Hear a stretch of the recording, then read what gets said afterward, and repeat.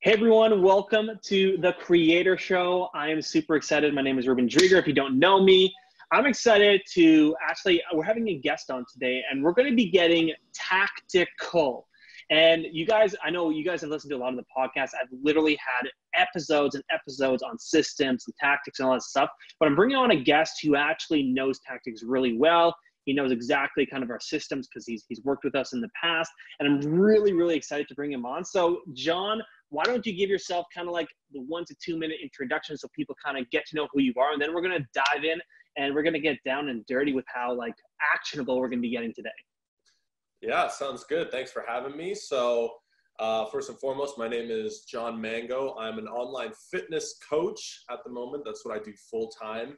Uh, I've been in the fitness industry for quite a while. I always had a passion for fitness. That's kind of, I was never a good student when I was younger simply because I didn't like academics, uh, that kind of stuff, right? Um, and I never really lived up to my potential when I was younger. And I think all my peers could see that in me. And so fitness was sort of that out for me. And uh, I really, you know, ever since I was 14, I started getting into it and it really dragged me through some tough times in my life. And so I decided, you know, what better route to pursue than this? And, and, you know, the change that fitness has created in my life and eventually led me down the path of being a coach and helping thousands of people and building a business and this type of stuff uh, you know, I figured I want to share this passion and help the world experience the same sort of benefits in their lives. So I love that. Yeah, I love that a lot. That's what I pretty much have dedicated my life to.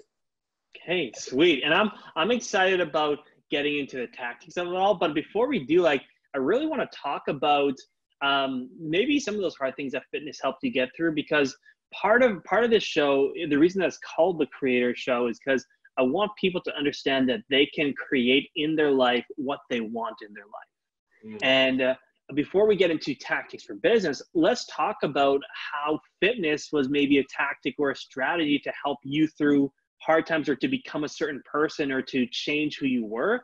So let's dive into that a little bit because I think that that is going to be helpful for a lot of people to know as well. Because not only do we want to grow our businesses, but we also want to just grow ourselves. So dive into that piece a little bit, and we'll kind of we'll kind of ebb and flow in there a bit. Yeah, sounds good. I mean, my philosophy has really turned into regardless of what you want to accomplish in your life whether it's grow a massive business or you know any endeavor you want the best family life you can have or you know whatever it may be uh, my personal philosophy is that by achieving your peak optimal fitness yeah. you can then have all the tools at least mentally speaking necessary to get there so for example fitness for me i always used to quit things in my life right I, I, would never give things enough time to sort of see the fruits of the labor that i was putting in up front eventually and so fitness was one of those things that taught me the importance of sticking to something and you know not there's going to be a ton of obstacles not giving into those or working around them uh, and really just that whole determination aspect and the mm. grit the grit that's required to achieve fitness because uh, it is ultimately a lifelong thing as is any endeavor worth pursuing in my opinion then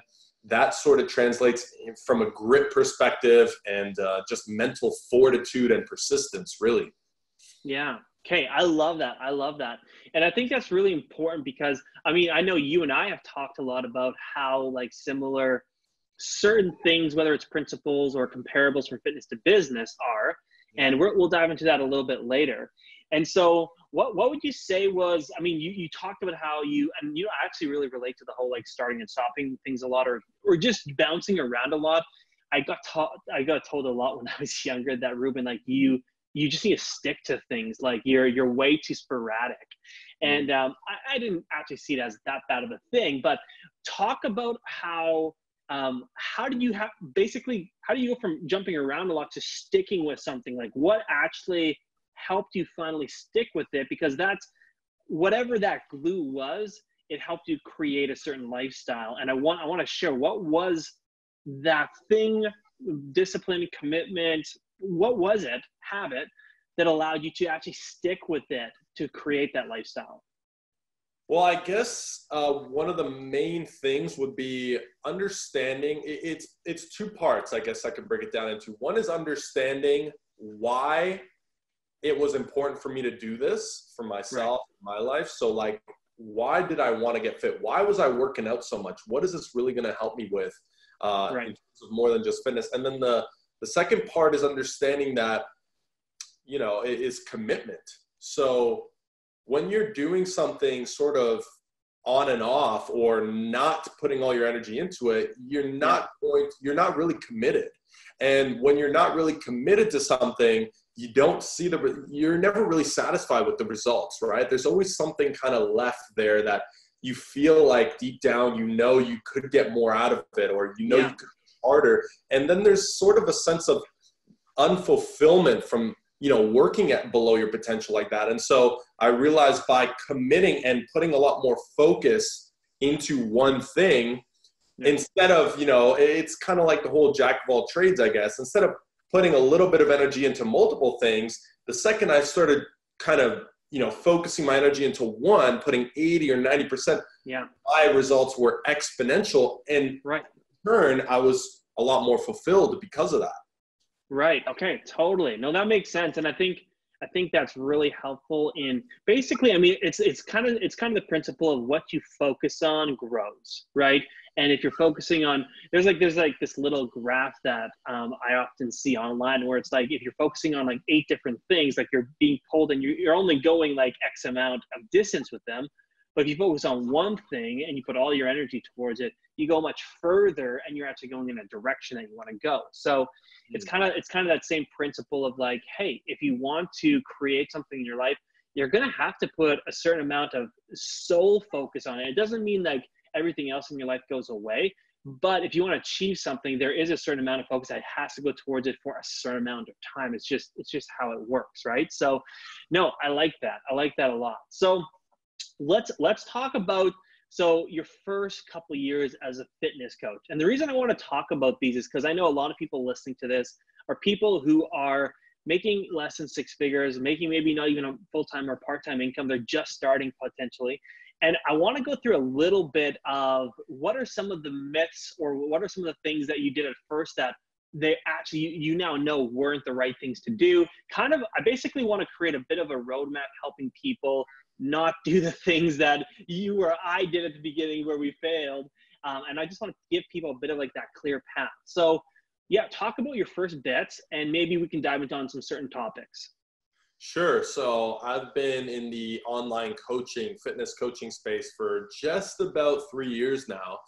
And um, the first couple of years, it was something I was doing a little bit more on the side, right? A side hustle, right. say these days. Uh, and full time, my, you know, what I was focusing on was really in person training and, and coaching at a studio.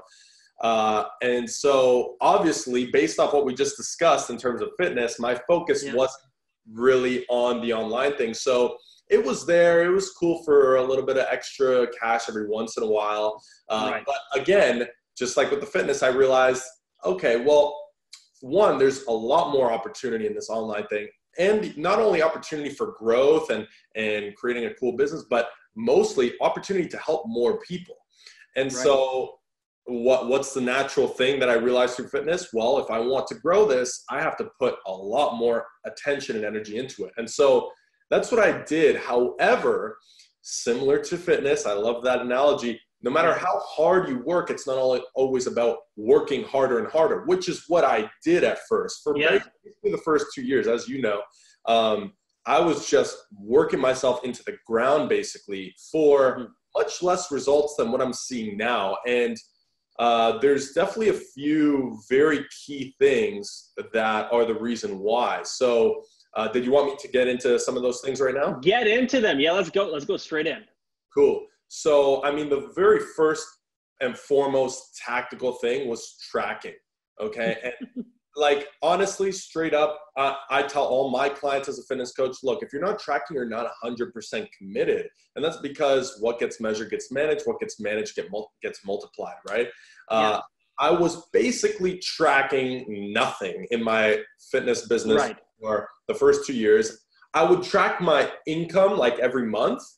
For and, sure right? And, and, naturally, but that included all my other stuff. I don't know how much was coming from the business, how much was coming from here and there and the other, and and it was very much up and down, up and down, you know, to no surprise. And so that's the number one thing. Like I know you're big on tracking. Like, would you yeah. say that's probably the biggest thing in your opinion, or what do you think about that? So, so, so here's how I think about it. There's a lot of hustlers out there. I would say, Jon, that like you're a hustler, I'm a hustler. Like we we like to work hard. Yeah. But what happens is when when you work hard, void of tracking, you actually can get pretty good results. Like you can you can do decent. It's kind of like the guy in the gym who he works out hard and like he does like he does really hard he can get decent results right like you can build i mean i know i know for instance like before you tracked a lot you had some pretty good months where you would make six or eight thousand dollars but then the next month it would come down right and that's that's the problem with when you put out so much work and so much so basically let's say you put out 10 whatever 10 we're going to quantify 10 pieces of work out okay. but you don't know which pieces of that work contributed to the outcome, right?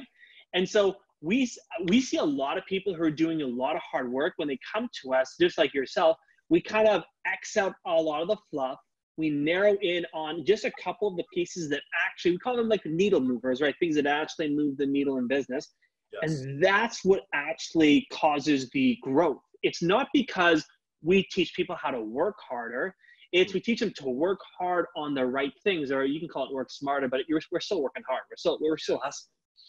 And so now, and you can be as like uh, you can share anything you want on here. Like this isn't like something where you like you're like, oh, don't share Reuben secrets. Like you can share anything you want. But what specific things would you say that basically tracking has helped you the most? Which specific metrics um, which things that like you you input on a daily weekly basis have made the biggest difference for you? So uh, it's a good question. I would say that you know getting as specific as possible it would have to do with tracking every single conversation. Like right meaning message uh, every message every dm every single time i'm communicating with someone until we get up to a sales call obviously yeah. I'm tracking, you know, what happens on the sales call, what, you know, what the outcome is and so on. Right. That I feel like more of a given. But what wasn't a, so obvious for me that just blew things up in, in a good way is the tracking every conversation, whether, you know, whether how mm. it came in, how it was created, where it's going, why it's going there, and how yeah. to, you know, basically quantifying all the conversations um, I, I, find it very similar to almost weighing out every gram of food. When you do that, it's really just it's giving you no room to to miss anything, right? Right, hundred percent. And that's and I know we had that conversation where I was like, Jon, you need to stop intuitive eating in your business metrics. You yeah. need to start like looking at the micronutrients. You have to start looking at like I, I think I made the comparable to like rest times in the gym or like making like sure like you you know like your time under tension like all those things that are just maybe more advanced or whatever it is and, and it's really and this this is where it's at because i know for a fact i remember the month when i was an online fitness coach and i've been getting sporadic results and not even that great results it was like one month it'd be 4k the next month it'd be 1k like i was just kind of like in that yo-yo and i remember the month where i was just like hey i am fed up with inconsistent results I had hired a couple business coaches. They'd given me obviously some tactics and strategies for I was getting results. So it's not like I like I was mad at them for not getting results. It was just sporadic and I, I didn't know how to make it consistent.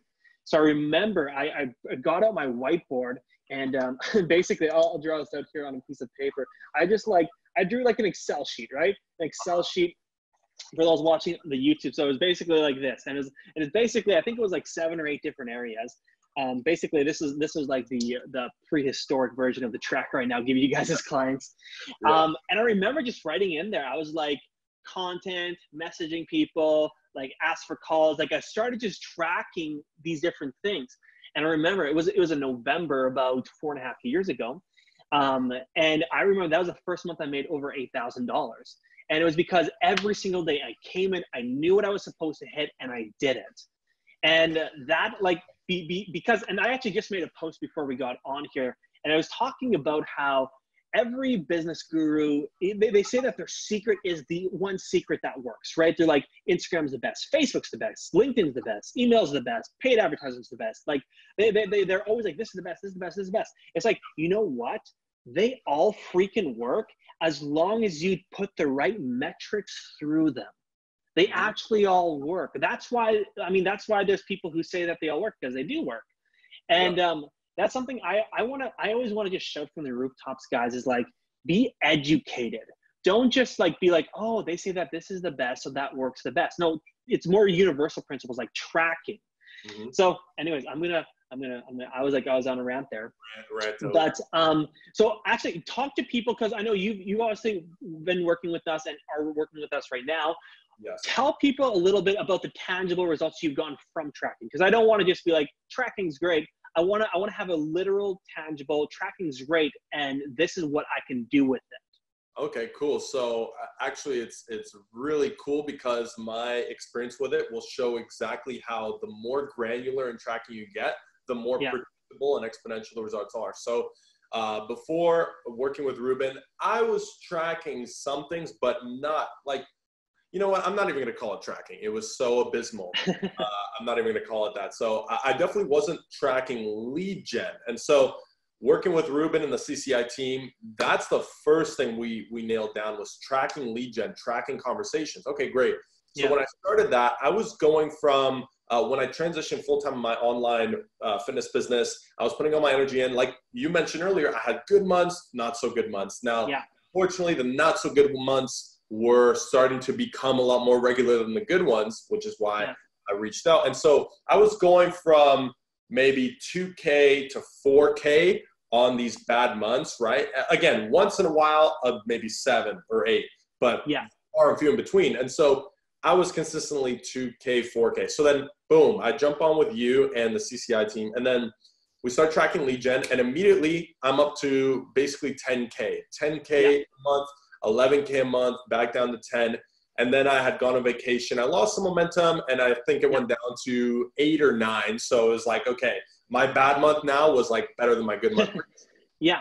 Then, uh, as you know, and we're super pumped about this. And mm-hmm. lately, uh, as of the last month, I really nailed my tracking down. Like I track every, like I mentioned before, every single yeah. part, every conversation. And now predictably, I'm booking like my calendar's completely full. It's and crazy. It, yeah, it's insane. I was showing you, I sent you a picture uh, not too long ago, and so it's uh, it's been more full now in this week and in these last two weeks than it has been even in those prior months where I was closing a pretty good amount. And so, you know, being that that's the case, and before it was like, yeah, kind of crossing my fingers. Hopefully, I'll get to 20k a month. Right. Now, like, oh no, like 20K a month is now about to happen. It's just keep following those numbers. It's predictable. And so yeah. I got, went from essentially two to 4K months, kind of fluctuating for, uh, for a little while there, up to at least 10K per month, now aiming for the 20 and maybe the elusive 30. In- well, we'll get there. We'll get there for sure. No, and I, I, I truly like this. This is, this is where it's at because – like I know like we when we started to track kind of the basics of lead gen, which yes. most people just don't even know, it, it already doubled your monthly income. And yep. now we're going even more in depth. And this is something, I mean, I, I talk about all the time where basically every new level in business has its own devil, and you need to become a certain person to fight that and to overcome it.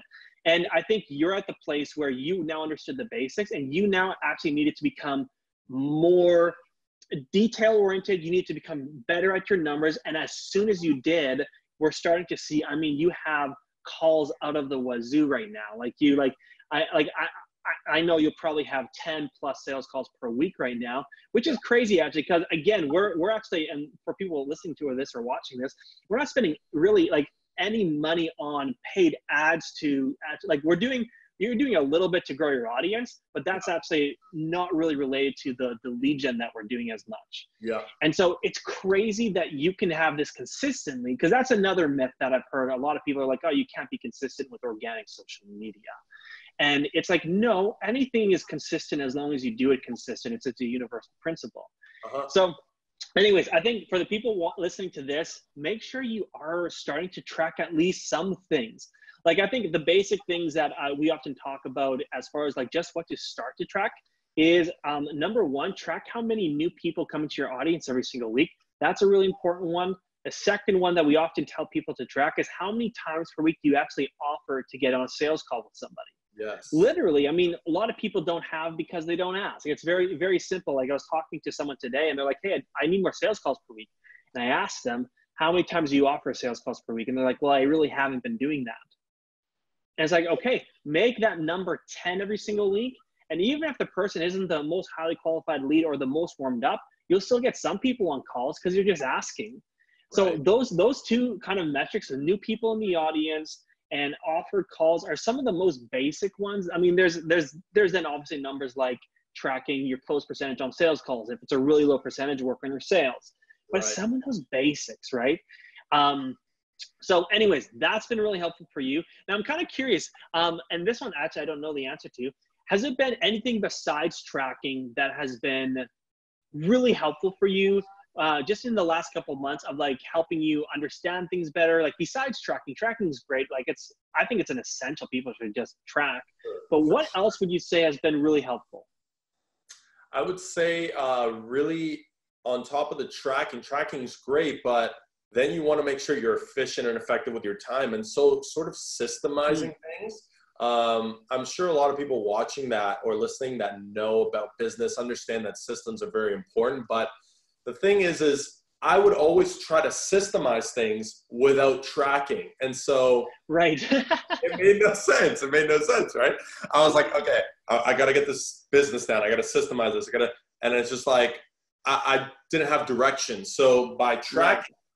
Now I understand, okay, I need to hit these targets. And so by doing that, I need to send out X amount of messages. How can I systemize this or uh, make it so that it's um, I, I, really can't think of another word. Systemize is really the best word for it. Uh, a right. way that's streamlined, if you will, to where I can streamline this process so that I can get those messages out efficiently, effectively, and hit yeah. those targets in less time. Obviously, still keeping the quality sort of yes. that type of stuff. But the systemization is key. But again, I think that systemizing would have to come uh, after tra- like after you understand what metrics and how to actually track. Exactly. Yeah, that's that's that's exactly it because yeah, you can be tracking stuff, but if you don't have a system to hit the numbers because a system allows you to hit numbers in business. Right. So an audience growth system gives you activity that allows you to grow your audience by X amount.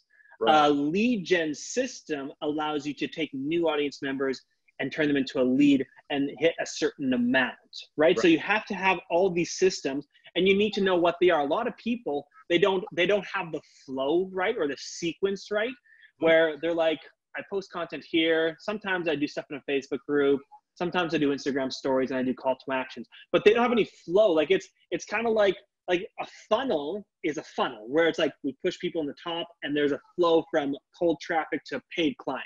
But a lot of people don't have that flow. So you want the flow, the metrics, and the systems to hit them. Once you have that, it's just rinse and repeat. Like you know, like if you do consistently, if you do more and you do more detailed, things get crazy. Yeah. So and, and actually, I'll actually get a little bit more granular just for like give an example for those who are listening or watching. Um, so an example of a system to where like it makes it more efficient is for and you mentioned like having like a step one, step two, steps three. So for example, okay, I'm gonna go through my DMs. I'm gonna start my lead gen. Step one is I'm gonna respond to every uh, inbox that is yeah. not read. So I'll switch the filter to unread. Boom, I nail all of those while tracking every conversation, see where it's coming, see where it's going. And then, okay, great. Once I finish that and I've done that, my second step is to send all of my value outreach messages. And then my mm. third step is to follow up with everybody. And then within that system, you've got like the micro or sort of like, you know, you you figured out what responses most of the time will work well to where you can almost copy paste a little bit of customization. You can sort of dish out yeah. these messages that are very effective, again, making it very easy to hit these targets. Yeah. Oh, I love that. And that's that's that's perfect because every system I the way I define it is every system has processes in it. So yeah. like a little a system is made up of processes. That's how I think about it. Like every step in a system is a process that you like you tick off, and that's a system. So that's that's that's that's awesome. Having basically it's we call them SOPs for people who don't yes. know what that means. It's it's a standard operating procedure. Basically, like you could even create a document for it where it's like, okay, to do this, it's like literally these actions, these processes, and that's a system. Um, and, and so we're getting very we're getting very detailed here. yeah, one more thing to add on top of that is uh, I'll set a timer too, so you can kind of. I love that. How long it's gonna take? I go on Google. The first step for me is actually go Google timer, set it, and then go. Yeah. You know? Oh, I love that. So you're, so yeah, and that's and that's where you're getting efficient and you're tracking your time with it right. because that's that's really important. I mean, time is something that a lot of entrepreneurs struggle with. Like, how much time do I put in? How much time certain things take? Like, what's the ROI per time? So, like, I think that that's that's actually that's a really good tool. Actually, setting a timer and seeing how you're doing it. So, know, that's that's interesting. Yeah, it gives you a window where you're like, oh, I gotta like, you're not gonna waste any time because you're like, I gotta make it within these 90 minutes, for example. So yeah. you're just cranking it out. I love that. I love that. And that actually, it's really, I think it's good to do that because I, I like to call them power hours where like right. I try to get my like really like quote unquote hustle work done. And I just like, I go at it hard for like an hour and then I'm done that work for the day. Right. And so that's perfect. And for people who are listening to this, if you want some more in-depth um, episodes on systems specifically, I actually did, I think it was like a six to eight part series on different systems further down in the podcast. And so if you want to go check those out, I think I talked about the loop method and I talked about client acquisition systems. I talked about like the audience growth, the nurturing, the lead gen, the sales. So we talked through all of them um, further down in the podcast. So if you want to check out more of that, um, definitely do that. So, okay, so basically we got, okay, guys, you got to track. We, we got to have systems. And um, I mean, those are, those are a couple of things. Here's a funny thing. Most, most business coaches don't talk about that most because because and you know this and the people who are listening to this know that most business coaches what they talk about is what kind of content should you create? What kind of hashtags should you use? What kind of like what's what should be your sales script? And basically like how to message people to set up sales calls. That's very very kind of basic business coaching like curriculum per se. Maybe maybe a little bit of like how to how to grow your audience um, which is funny because they're teaching you what we would call tactics.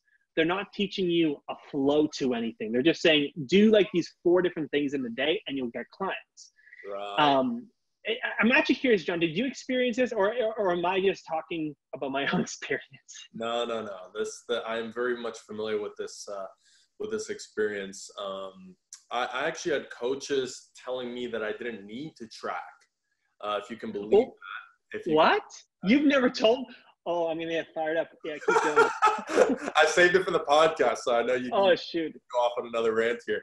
Um, but but hey, you know what, man? It's the same. Uh, like I'm about to lose my my mind right now, just thinking about the fact that the same thing is in fitness. There's people being like, "Don't track, don't ever do this," and it's just like, but why? Like it's you know, it's so so. I have been told.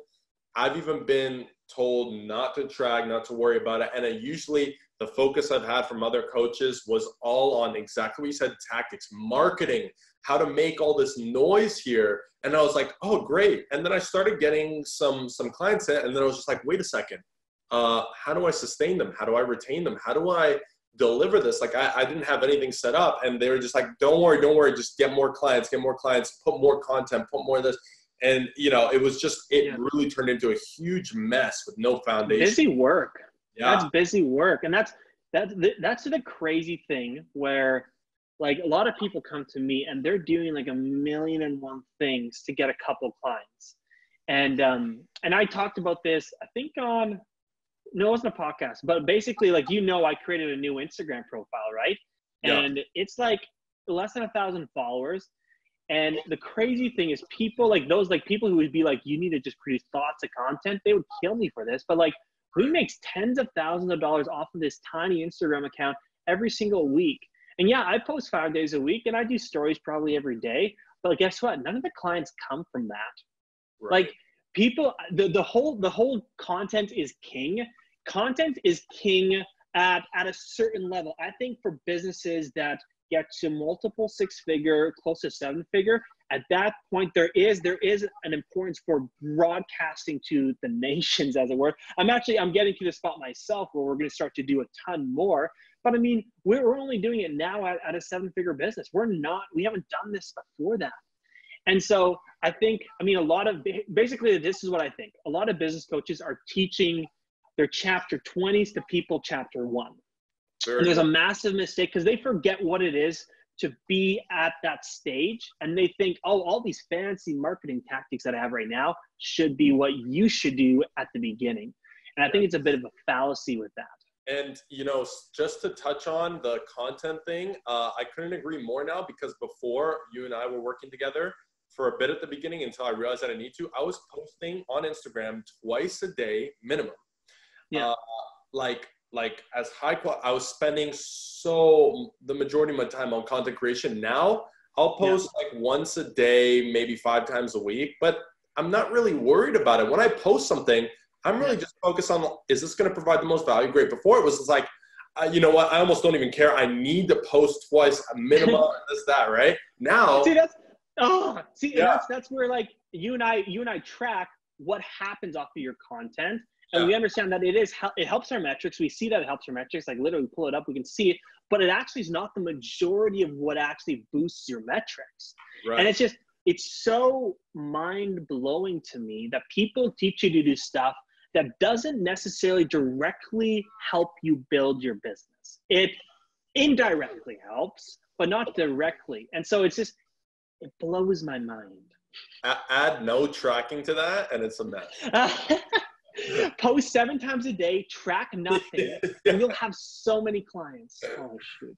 Hopefully. Anyways, yeah, no, this. I mean, I was telling you right before we actually pushed record here that one of the other the other clients that's working with my team, uh, she she was the same, and she's a Instagram influencer, has like fifty thousand followers, and um, like she was booking maybe two calls per week before working with me, and this week uh, she's a month into working with us, and now she booked fifteen calls in a week because we stopped focusing on all the things she was being taught to do as an influencer and we started telling her to do the things that book calls.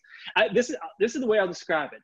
Whatever metric you follow you end up to that destination. You follow vanity metrics you end up at a vanity destination. You follow business metrics you end up at a business destination. If you if you want to track likes comments and followers you focus on those metrics you'll have a lot of followers and a little bit of money if you focus on sales calls as your one metric that you need to hit a high amount per week, you have a business. And so it's like whatever metric you follow and you go after, you will achieve that result. But is it the result that you want? Wow, that's that's you know, it's so funny you say that because like that is so everybody's is backwards. Everybody thinks of it differently. It's like more followers, more money, right? Oh my gosh. Well, then then then I should be making a lot less money than I am. Yeah. So I should be making more than you. yeah, you should be. You have more followers than me. There you go. See? See? Oh shoot. No, this has been great. I hope you guys that are listening or watching this are finding this valuable. Um, because this, I mean, like I said, I wanted to get as granular as we possibly could today. We did. We got very, very granular. So I got I got two quick uh, questions I want to ask you before we jump off for today. So number one, I want if people if people are interested in, in seeing your stuff and following you, uh, where, where's the best place to do that? Because I'm sure some of them want to follow you and see what what what you do in business and how you facilitate everything. Because I think a lot of people want to look up to people who are at the stage where they want to get up to. Right. And so for someone, what, what's the best place to find you um, and to kind of see what you're doing in business and fitness, etc. Uh, Instagram is definitely the best spot right now. So the Instagram handle is just Jon Mango. That's J O N M A N G O, um, and that's it. So okay. you know, anybody can send me a message on there too, and I'd be happy to uh, help out, respond, and you know, give them any tips yeah. I can, so on. Totally, totally. And I think a lot of people just like to see when they know someone's like doing what they want to do. They just like to see what is it what does it look like? They, they, they want to know what it kind of looks like in a sense. So um, go follow Jon. He does he does great stuff on Instagram. Um, he he got you got me really bad on April Fool's Day, just so you know. the other day on April Fool's Days, I couldn't believe it. I was watching Jon's stories, and this is totally tangent here, but he was like he was describing how he's moving away from fitness coaching. He's not going to do it anymore, and he had like I was like, what the heck? We had a call just like two days ago, and you're like completely you're completely abandoning this. And then he was like april fools. And i he got me so good. I was like mad. I was mad. Anyways i'm still anyways, waiting for my acting award on that one apparently. You, you did great. I was like wow get this guy a movie. So anyway so the last question i have it's always related to um, basically how to become a creator of your life. And i know you did it with fitness. I know you've done it in business but if you had to put it down to one thing, what's the one thing that it's a hack, tip, whatever it is, tool helped you create a certain result um, when you didn't have it prior? I would just say uh, it kind of goes back to the two things I mentioned earlier. And the first is understanding why you want to do what it is you're yeah. trying to do, whether it's build the business, again, start a family, and it can relate to anything, so build a good body. The first thing is understanding why. And I don't mean just on the surface, I mean get as deep as possible. You got to ask yourself the tough questions, the questions that are going to dig deep into, you know, what you really want out of life. And then the second part is the commitment. If you're going to give anything less than your fullest, then those are the results you can expect, less than what you'll be happy with. And so I think those two things, it, I like it. it's quite the loaded question, as you know, but you know, I think, yes. I think those, those two.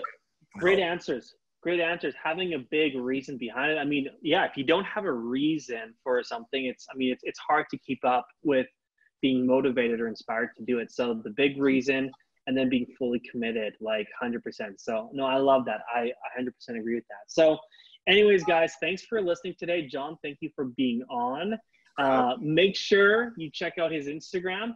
And uh, yeah we'll be updating you when he gets to the 20 and 30k months you guys will see it out there. Um, it's going to be happening. Like i we can, we can both feel it. So anyways, guys, thanks for being on, and we'll be check, uh, basically probably catching you guys next week with another episode on YouTube and on the Creator Show on um, the podcast. So, bye for now, guys. Have an amazing rest of your day.